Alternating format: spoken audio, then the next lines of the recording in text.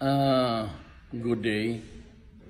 May gusto lang akong ah, sabihin sa mga taga Bacolod. Ah, it has something to do with ah, yung ah, election ngayon, dadating at yung mga kandidato. Ah, alam mo kasi, ah, ako I I I I do not want uh, something that is uh, a fraud. Hindi naman sa nasanay ako sa ganon, kundi ayaw ko yung gagamitin yung pangalan ko. Something which is not true. Yung sabi ko yung mga sa droga, when I rattled off the names, I, never mentioned the name of uh, Mayor Leonardia. I just mentioned the names and sinabi ko, di ba Mayor nandoon ka? I, I was referring to a previous meeting dito sa opisina ko, pinatawag ko lahat ng mga city mayor. At uh, nag-warning ako sa lahat. Sabi ko na huwag kayong pumasok dyan. Ah, alam, alam ng lahat yan na yun ang sinabi ko. Yung mga mayor sa lumabas, I never mentioned them in public, just the mayors. Yung nasa labas na ngayon sa report ng PDEA, ah, process na po yan. And hindi lang yan sa PDEA, galing na yan ng NBI, galing na ng lahat-lahat ng opisina, pati ang military, the armed forces.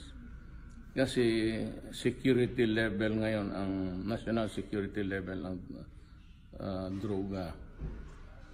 Ah, yung sinabi ni ah, ah, si Mayor Monico na ah, pinangalanan ko si Leonardia as one of the, hindi totoo po yun. I was purposely, in, uh, intentionally, uh, binaliktad yung uh, salita.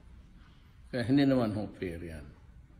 Actually, uh, may advice kay uh, Mayor Monico is that, you know, uh, magwad ka noon, tapos gamitin mo yung pangalan ko, tapos may mga yung ah, mga speeches ko, in-splice ninyo, tapos dinagdagan ninyo ng ibang pinaghalo-halo ninyo, nalalabas na ah, si Leonardia ang ah, nasa droga.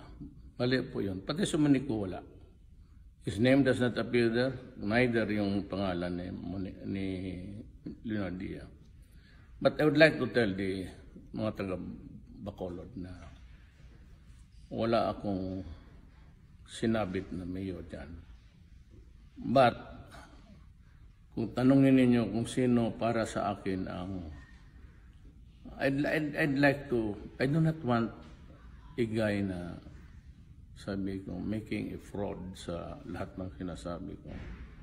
I am supporting Linardia uh, for the mayorship ng Bacolod City.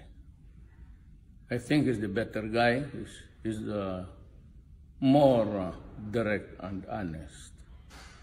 Uh, siya ang gusto kong maging mayor. I am supporting him.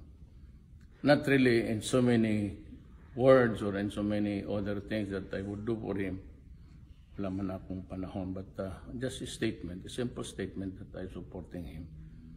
Because to me, he is the better for the. Thank you for listening.